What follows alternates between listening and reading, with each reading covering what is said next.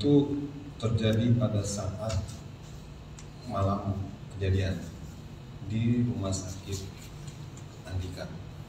Pada saat korban dibawa ke rumah sakit pertama. Jadi kami hadir di, uh, kami diinformasikan jadi kami kalau lokasi rumah sakit tersebut. Yang kami lakukan pertama itu mengecek itu benar anak kami bukan?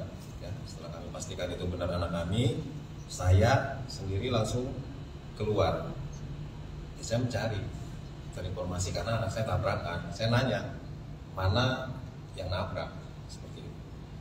Uh, saya diinformasikan oleh warga bukan warga orang yang ada di situ mengarahkan kok oh, itu di sana seperti itu. Ya saya samperin saya datengin langsung saya tanya mana yang nabrak? Dia dari posisi duduk begini di depannya ada anggota juga. Langsung berdiri dengan tegasnya dia menyatakan saya yang nabrak. Setelah itu saya perjelas lagi. Gimana pak prosesnya? Gitu kan. Ayo kita ngobrol dulu di situ saya bilang. Saya ajak mengarah ke tempat korban ditaruh.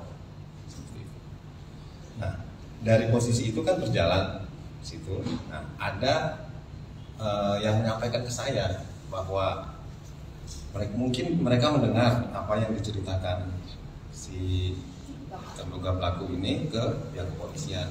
Jadi mereka menyampaikan begini manggil saya, Om, bapak itu cerita dengan polisi itu nggak sesuai dengan kejadian seperti itu.